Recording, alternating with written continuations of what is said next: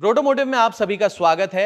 आज हमारी वर्कशॉप में आई है एक पाँच साल पुरानी सुजुकी अर्टिगा और इस गाड़ी को हम दे रहे हैं एक ब्रांड न्यू लुक वैसे तो इसकी कंडीशन काफ़ी डिसेंट थी for its age but customer चाहते थे कि ये गाड़ी पूरी नई जैसी दिखे। तो हमने उन्हें सजेस्ट किया कि इसे हमें एक नए कलर में पेंट करना चाहिए। ये वीडियो काफ़ी इंटरेस्टिंग होने वाला है तो पूरा ज़रूर देखिएगा। चलिए इस वीडियो को शुरू करते हैं।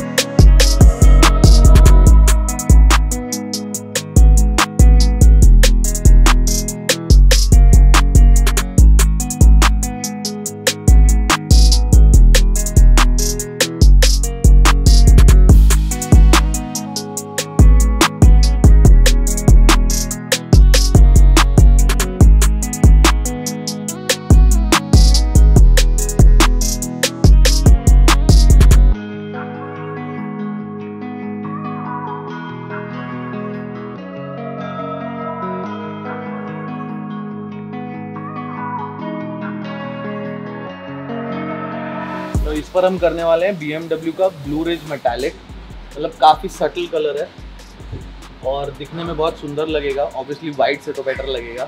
White is not my first choice when it comes to colours छोटा छोटा इधर उधर ना अभी रस्टिंग शुरू हो गया है। आई थिंक यहाँ सीलेट एप्लीकेशन करना पड़ेगा अंदर पूरा।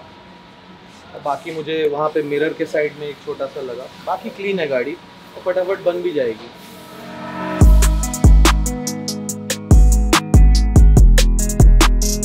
गाड़ी के लाइफ स्पैन में कभी ना कभी इसका लेफ़्ट साइड से एक्सीडेंट हुआ था, जो कि ठीक ढंग से रिपेयर नहीं हुआ। इसलिए ये तीन panel rear bumper left quarter panel और लेफ़्ट रियर डोर पे हमने पेंट को पूरा स्ट्रिप किया ताकि हम इसे प्रॉपर शेप दे सके और इन पैनल्स का एंड फिनिश बाकी गाड़ी को अच्छे से मैच हो सके।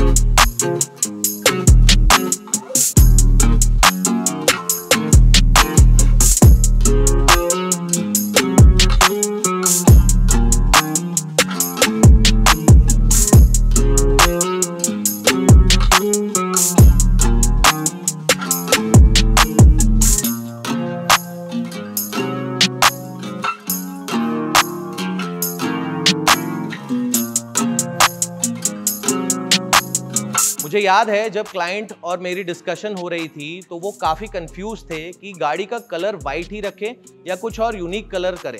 मैंने उन्हें सजेस्ट किया कि जब आप पूरी गाड़ी को पेंट कर ही रहे हो और इतना खर्चा कर ही रहे हो तो क्यों ना उसका कलर भी चेंज किया जाए। ऐसे में होता क्या है, जब गाड़ी वापस घर जाती है तो पूरी फैमिली को ऐसा लगता है कि घर पर एक नई गाड़ी आई।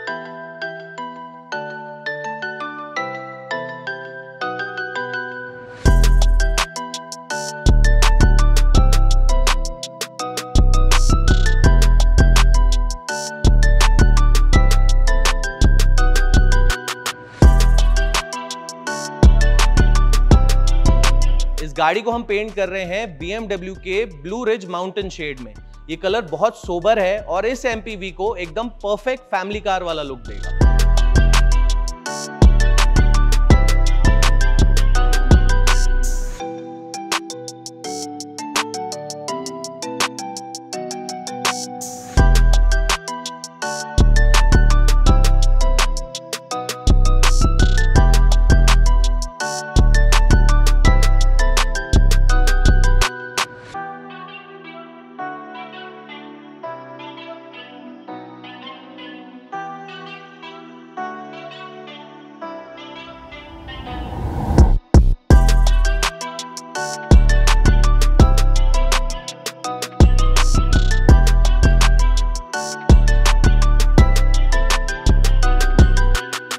ऑटोमोटिव में हम जब भी कोई गाड़ी पेंट करते हैं तो हम उसे यूजुअली थ्री स्टेप्स में पेंट करते हैं। सबसे पहले राउंड में गाड़ी की बॉडी पेंट बूथ के अंदर जाती है, उसके बाद सेकेंड राउंड में पैनल्स जाते हैं, और उसके बाद थर्ड राउंड में रिमेनिंग पैनल्स जाते हैं। सभी पैनल्स को प्रॉपर कवरेज दिया जाता है एंड दिस इंश्योर्स की पेंट जॉब एकदम इवन फिनिश के साथ निकले।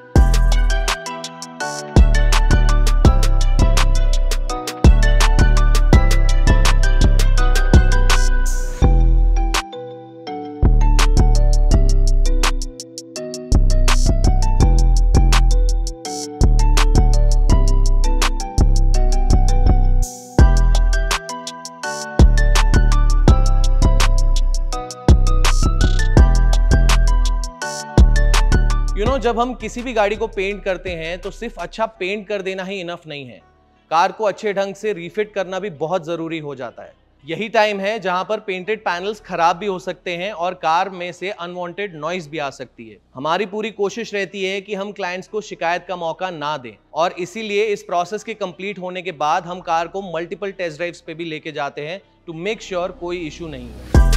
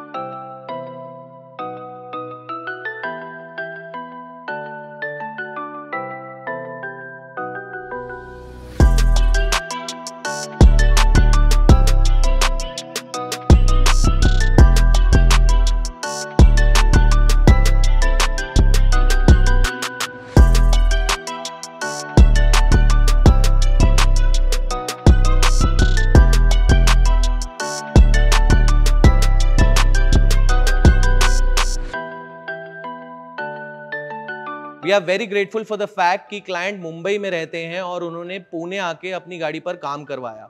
बहुत अच्छा लगता है जब लोग हमारे काम में वैल्यू देखते हैं और ये ट्रस्ट करते हैं कि हम उन्हें अच्छी सर्विस डिलीवर कर पाएँगे। इसलिए यहाँ तक ट्रैवल करके आते हैं हमारे पास।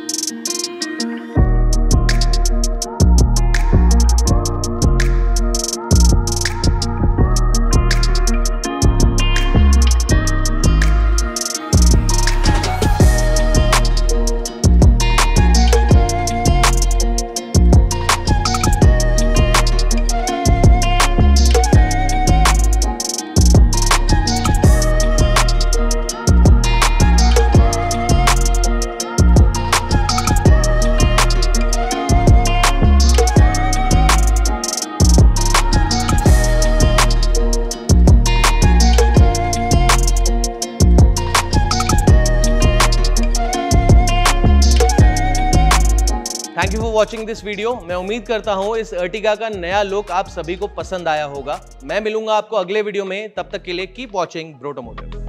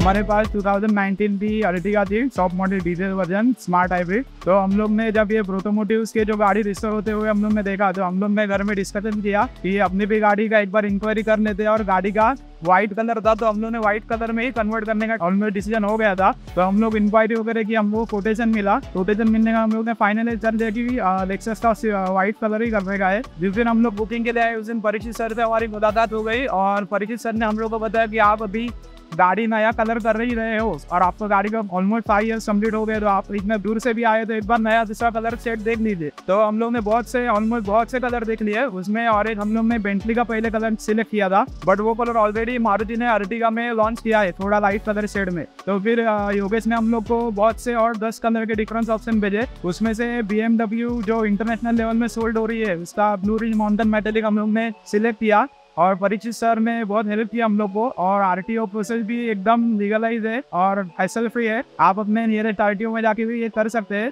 It's around five hundred rupees जो आपको करने का रहता है रिसीट वगैरह का। तो हम लोग ने ये कलर किया। टू मंथ्स लगे पूरे गाड़ी को रिस्टोर होने को और ऑलमोस्ट जो गाड़ी हम लोग ने 2019 में शोरूम से ली थी, वही गाड़ी फिर से अच्छी तरीके से अलग कलर हम लोग को अभी मिल गई है और बहुत अच्छा लगा हम लोग को। तो thank you Protomotive for this